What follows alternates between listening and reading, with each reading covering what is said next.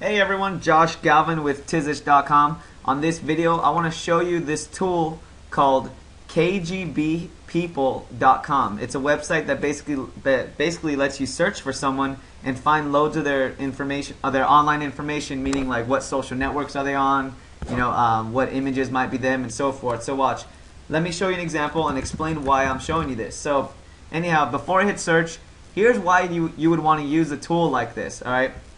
Uh, increase your lead conversion in a nutshell. That's the reason why. Okay, here's here's how it happens. All right, let's say you get an, an email from a lead, or maybe you let's say you get an email from a lead and they're asking, "Can I have more information on this property?" Or let's say you get an email from a lead that wants to see an appointment, or anything with the online lead that's asking you for information or anything like that. Well, the more you know about that person in terms of where they networking on, where they and so I mean, I don't want to sound like crazy you know, spy or anything, but realistically, the more you could find them on the social media and so forth, then the better you're going to be at converting that lead. So, what I would do is the following: you get a lead, take their name that you that you receive, and search for them using this system. So, like, let's just say Josh Galvin, for example. So, when I click on search, what you can do is the following: now you're going to have um, pretty much everything's going to come up of where what is found with Josh Galvin with social networks, search engines, photos, and then personal the most important ones I feel are the social networks because if your leads are emailing you, then it'd be really cool to try to connect with them on Facebook and Twitter, or LinkedIn, wherever else they might be on. So here's an example. Here's social networks. See when I have six results found, let's look at them. There's me. There's one of them. And it might show other people that might be related, you know, maybe people I've recently talked to or something. You you might get that. Who knows? Uh, but basically, it's going to give you an idea, all right? And then the next one, let's say LinkedIn, it found my LinkedIn.